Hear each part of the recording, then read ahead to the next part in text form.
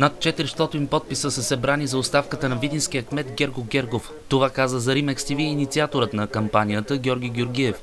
По време на вчерашното дело по отстраняването на Гергов, Георгиев предаде подписката на прокурор от Софийска градска прокуратура. Над 400 човека подкрепиха искането на прокуратурата за отстраняване на кмета и 33 човека се обявиха защита на кмета.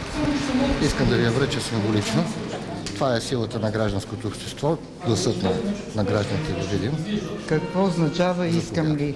Днес съм искане и ще поддържам искането си за отстраняване, но това, този сигнал е редно чрез деловодството на Софийска градска прокуратура и новото звено, което е създадено за борба срещу корупцията.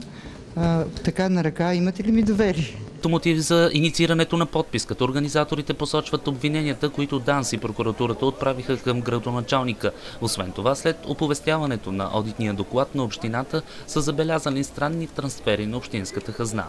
В момента парите се губят. При толкова много пари, около 107 милиона, така изчислих за две години в Видин, не се разбра тия пари как се разпределят, как се отчитат и как се приемат обекти от строителство.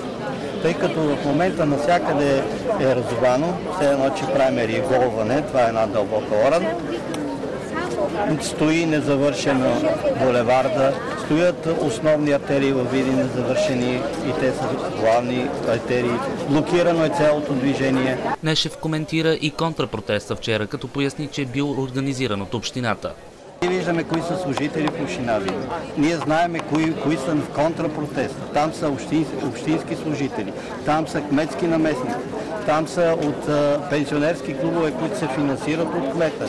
Там са личности, свързани по една или друга причина точно с тия, да кажем, лица, които трябва да бъдат отстранени, за да се продължи дейността по отстраняване и доказване законността в този град. Контрапротестиращите отговориха на това твърдение с въпрос. Къде са били всички тези движения през годините, когато предишните кметове са извършили престъпления?